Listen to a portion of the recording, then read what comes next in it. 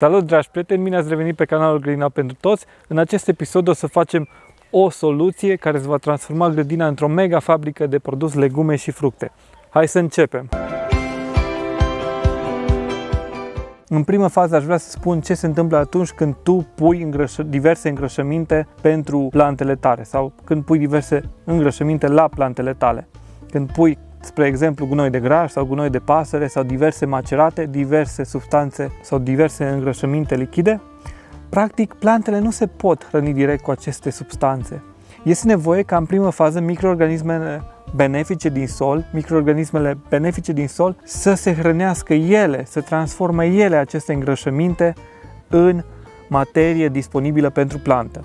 Practic, plantele se hrănesc cu ceea ce au digerat microorganismele benefice, benefice din sol. De aceea facem acest video, pentru a crea o soluție care să favorizeze dezvoltarea acelor microorganisme și de a transforma orice sol sărac într-un sol super bun pentru dezvoltarea plantelor. Din această cauză vreau ca în acest episod să îți spun rețeta, o rețetă microbiană care va genera milioane și milioane de microorganisme care vor transforma și cel mai sărac sol în un plin de viață foarte bogat, care îți va hrăni plantele și grădina ta. De asemenea, plantele vor deveni mult mai rezistente la dăunători și la boli. Practic, această soluție este piatră de temelie a unei grădini, a unui sol și a unor plante sănătoase.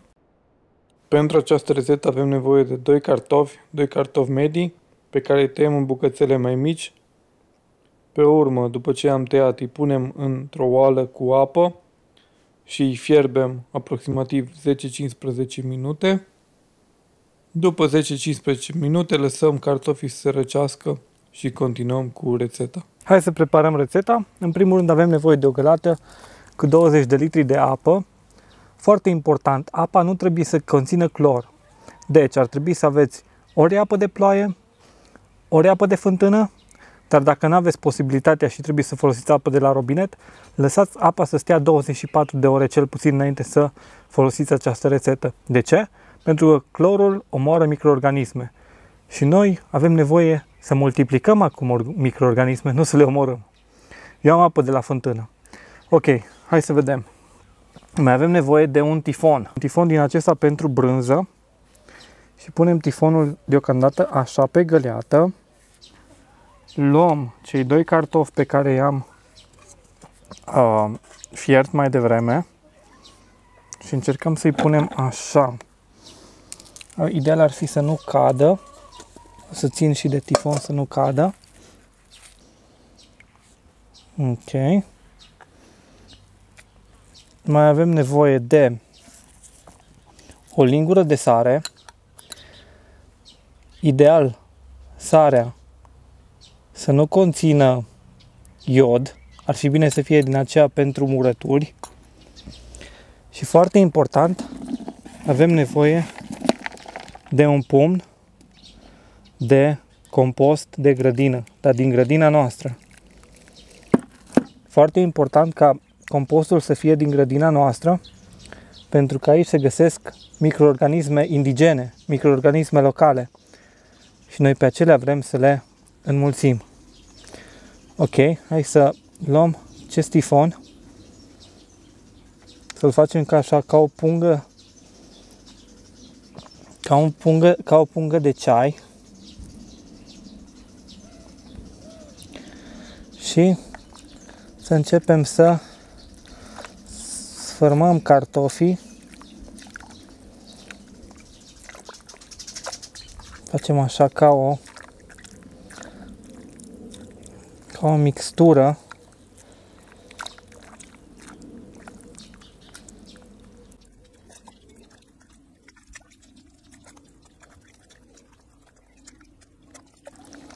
până apa devine așa mai tulbure, vedeți?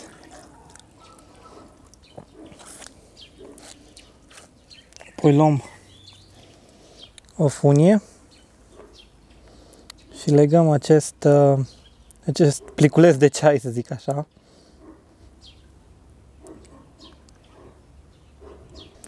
Legăm o dată aici și legăm și o dată aici ca să stea să stea prins și de mânerul găleții pentru a nu se afunda de tot. Care este practic ideea? Microorganismele care se găsesc în compostul nostru, apropo, dacă nu aveți compost, mergeți la cel mai bătrân copac de la dumneavoastră din grădină sau la cel mai bătrân copac din cea mai apropiată pădure de la dumneavoastră de grădină și luați de acolo, de la baza copacului, acel pământ care este negru, care a rezultat în urma descompunerii frunzelor. Puteți să folosiți și un pumn de, de pământ de sub copac. Dacă nu aveți compost, dacă aveți compost, grămadă de compost acasă, luați de acolo un pumn de grămadă de compost. compost. Microorganismele care se află în compost se vor înmulți acum foarte mult pentru că au hrană. Practic, cartofii vor fi hrana microorganismelor din compost. Microorganismele vor consuma zaharurile și proteinele din cartofi și se vor înmulți foarte, foarte mult. Practic, în această găleată, mâine vom avea miliarde și miliarde și miliarde de microorganisme benefice pe care o să le putem folosi în grădină. Acum urmează să pun această găleată într-un loc umbrit, într-un loc ferit de soare și o să aștept 24 de ore până când microorganismele vor fi la apogeu. Așa arată dimineața următoare la primă oră. Să văd bule de aer, se vede activitatea microbiană, totuși mai trebuie să așteptăm până când microorganismele s-au înmulțit și soluția noastră a ajuns la apogeu. Așa arată soluția în seara acelei de-a doua zile după ce am creat soluția. Se vede că microorganismele au ajuns la apogeu și deja au început să piară din ele, deci se poate folosi fără nicio problemă acum soluția. Eu am și folosit în seara asta, am străpit foliar și am mudat la rădăcină, dar totuși apogeul era cândva un pic mai devreme. E mai mult de 24 de ore de când am pus soluția asta. Haideți să vă arăt în alte ture cum arăta soluția la apogeu, când ar trebui folosită soluția. Așa arată soluția când ar trebui să ajungă la apogeu. Acum ar fi cel mai bine de folosit în grădină, dar și dacă a trecut o bucată de câteva ore după ce a ajuns la apogeu, cum mi s-a întâmplat și mie în seara asta, pentru că am vrut să ud și să stropesc seara, nu e nici cea mai mică problemă. Foarte important de menționat, cu cât e mai cald, cu atât e mai bine pentru această soluție. Fiind vară, fiind 25 de grade afară, a durat 24 de ore. Dacă ar fi fost mai frig, ar fi durat mai mult. Dar totuși s-ar fi făcut și în condiții de mai răcoare. Haideți să vă spun cum se procedează cu această soluție. Practic se diluează 1 la 20, adică se ia un litru din soluția aceasta și se diluează cu 20 de litri de apă. Atenție, apa nu trebuie să fie de la robinet. Adică să nu conțină clor. Poate să fie de la robinet, dar trebuie ținută cel puțin 24 de ore la stătut ca să iasă clorul din ea. Ideal să folosiți apă de ploaie sau apă de la fântână. Acum, uh, soluția diluată cu apă trebuie aplicată la rădăcinile plantelor. Uh, sau uh, puteți să udați înainte să plantați ceva. Soluția aceasta va inacula solul cu milioane și milioane de microorganisme benefice care vă vor face solul unul super bun, super fertil pentru plantele dumneavoastră.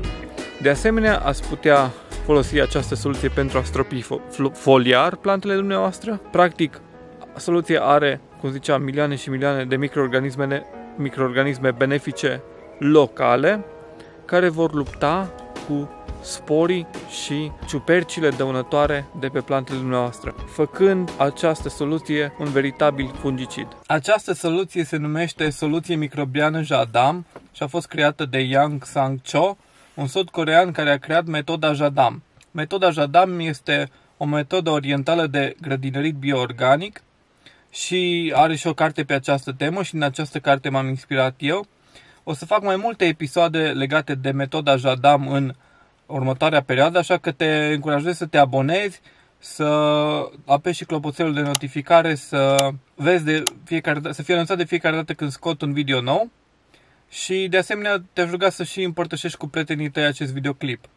Am observat în România că se folosește o metodă asemănătoare cu drojdie, drojdie din asta uh, uh, normală, doar că drojdia comună are un singur tip de microorganism, Saccharomyces cerevisiae, în schimb, metoda pe care noi am creat-o are milioane și milioane de microorganisme benefice, ceea ce face din această soluție una net superioară drojdiei. Ok, și drojdia se poate folosi, dar asta este mult, mult mai bună. Ne vedem data viitoare. Ciao!